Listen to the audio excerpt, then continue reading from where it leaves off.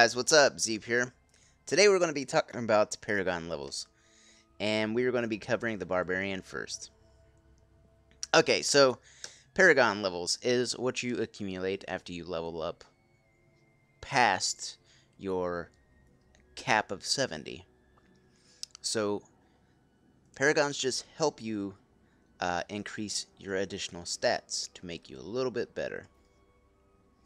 So, the first thing that we look at is the first tier, which is the core. Okay, so you want to get your movement speed maxed out first. That's very important because you don't want to be very slow and get snagged by mobs. What you do here is you go into your inventory and you click on details. You scroll all the way down and you look at movement speed. So here it says 11%. Okay, you need 25% to be maxed out. So sometimes you can get movement speed on your boots, which I have 11%. So that means I only have to add another 14% to cap that. So we'll go into movement speed. There's 5, there's 10, 11, 12, 13, and 14. Once you get your movement speed capped, the rest goes into strength. Now, offensive. Uh, you're going to go crit hit chance first, critical hit damage second, attack speed, and then the rest in cooldown reduction. Defense, resist all first, armor second, life third, and then life regen last. In utility, you don't want resource cost reduction on a barbarian if you're going with the whirlwind spec.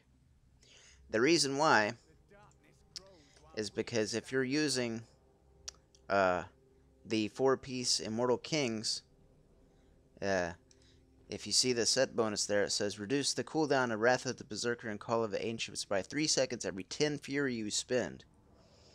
Okay, so if you reduce your resource cost reduction, you're not going to be spending as much resources when you're whirlwinding.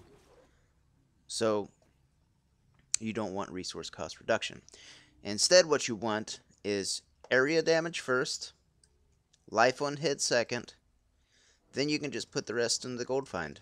And then you got 19 extra points to just kind of sit there.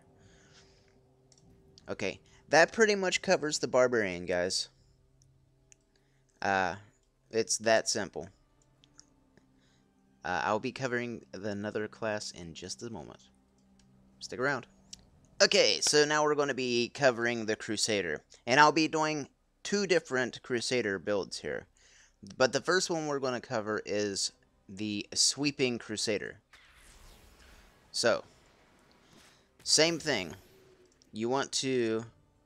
I don't have run speed on my boots, so I have to end up maxing it. Which is kind of a shame because I'm actually losing out on points somewhere else that I could be putting them in. So, first thing that you want to max out is going to be movement speed, maximum wrath, and then lastly, strength. Now, offense, you're going to go with crit hit chance first, crit hit damage, cooldown reduction, and then attack speed. Now, the reason why I went with cooldown reduction over attack speed is because I'm actually using Gogok with this spec. But it's not on this character currently. It's on another character, but I do use Gogok on this character, and it's at 100% and maxes out at 50, so you get a bunch of attack speed with that gem. Uh, defense, we're going with all resist, all armor, life, and then life regen. last, you want to go with area damage, resource cost reduction, life on hit, and then finally gold. That's it for this Crusader build. Now, I'm going to actually swap over to the other Crusader, which is a ZDPS build, and I will cover what's going on with that build. So let me swap over here.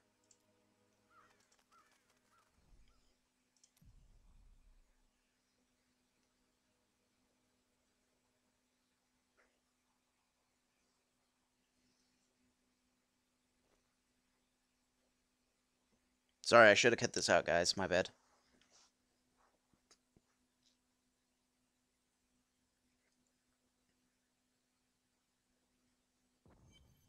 Okay. So, with this build, uh, you want to make sure that you have movement speed on your boots, and then after that, you want to actually increase the rest of movement speed in your Paragon level. So I have 10% there, so I should have 15% in my actual talent tree, which I do. But uh, let me reset all this. So 5, 10, 15%. Then you want to maximize your Wrath. Then all Vitality. Offense. You're going to want cooldown reduction first. Attack speed second. Then the rest will be either in crit hit chance or crit hit damage. It doesn't really matter because you're a tank. I'm going with crit hit chance first and then crit hit damage second. Defense, same as everything else. You're going to go resist first, armor second, life third, and life regen last. Whoops. Utility. First you want resource cost reduction. Then you want life on hit. Then area damage. Then the rest in gold find. And that is for a ZDPS, more tanky uh, stats rather than other stuff. Now, in the first one, if you're not having issues with um, sustaining your wrath, you can actually just go with movement speed and then the rest into Vit. That way you have more health. That bumps me up to about 1,300,000. So that's it for the Crusader. We will be hitting the Witch Doctor next. Stay tuned. Okay, so we are on the Witch Doctor now. Same thing with the movement speed. Always movement speed first. So I actually have 12% already on my boots, which is the max amount that you can get. So I'm going to add 13% in my Paragon levels. So we go 5, 10, 11, 12, and 13% right there. So that puts me at max. Now, the rest goes into intelligence. You don't need max mana because you're hardly ever running out of mana. Uh, for offense, you are going to go crit hit chance, crit hit damage, then attack speed, and lastly, cooldown reduction. Uh, defense, same as always. Go resist first. Armor second. Life third. And then finally, life regen. And your utility. You're going to want resource cost reduction first. Then area damage. Now, this is going to be up to you whether you want to go area damage first or resource cost reduction first. But uh, I usually go for resource cost first. Then life on hit, and then finally gold find. that's it for the Witch Doctor. We will be doing the Demon Hunter in just a moment. Alright, guys. Uh, the Demon Hunter. Now, this can vary depending on what spec that you're running. Uh, we're running the multi-shot build. So, uh, with the with the new set. So, here's what we're going to be using for this. For the boots, I have 10%, so I need an additional 15%. So we'll go ahead and add that. Now, firstly, you want maximum hatred, and then the rest all the way into dex. Uh, here, you're going to want crit hit chance, crit hit damage, attack speed, and then finally cooldown reduction.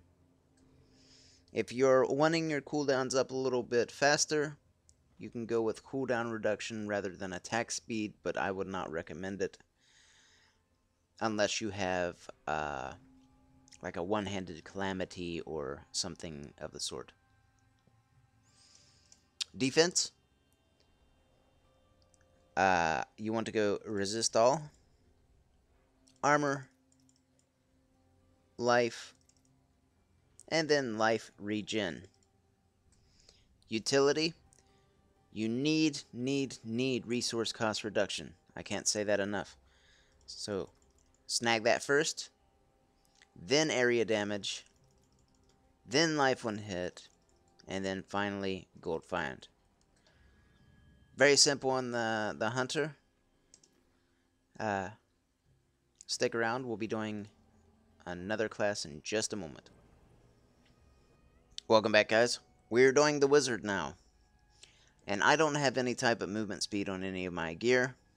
So, first thing we want to do is max movement speed. Then, uh, we are going with maximum arcane power. Uh, after that, you put the rest into intelligence. Offense, you're going to go with crit hit chance first critical hit damage second, and then attack speed, and then the rest in the cooldown reduction. The reason for this is because you don't really have any cooldown uh, abilities down here aside from your Hydra and your Blizzard. I'm sorry, your Blizzard does not have a cooldown. It's been a while since I've been on my Wizard, sorry. So it's just going to be your Hydra, I believe, that no, the Hydra doesn't even have a cooldown. So you don't have any cooldowns that you need to, to really worry about. So, defense. Resist all, of course. Then armor. Then life. And finally, life regen. Utility. You want to go with area damage. Resource cost reduction. Then life on hit. And that does it for the wizard.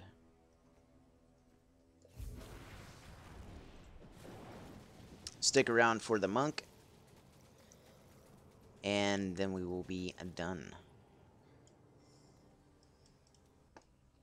Okay, last but not least, guys, the monk.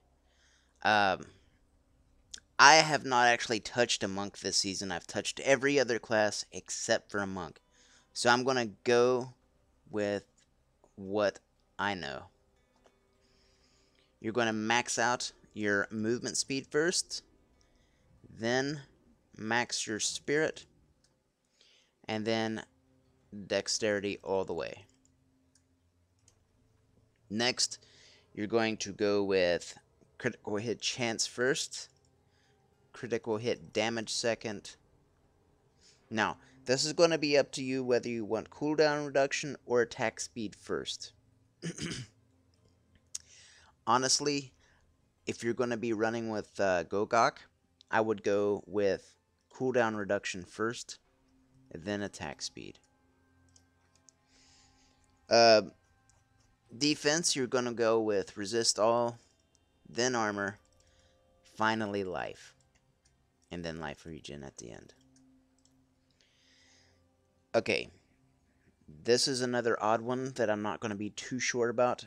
Uh, depending on what your what spec you're running, I would say probably go with area damage, then life on hit, and then resource cost reduction. Uh, depending on what spec you run, I would probably go with resource cost reduction first, then area damage, then life on hit. It'll be your guys' best judgment, honestly. But other than that, I think I've pretty much covered every single class on their Paragon levels and where to put them and where to put them first. If you have any questions, if I didn't explain something uh, quite as well as that you would hope that I would, please comment below and let me know if you guys need any more help on your Paragon levels or uh, uh, Paragon points placement. Uh, if I messed up somewhere and uh, I said something wrong, feel free to correct me. Uh, other than that, we are going to go ahead and call this a video. Thanks for joining me, guys, and I will see you next time. Happy hunting and enjoy those Paragon points.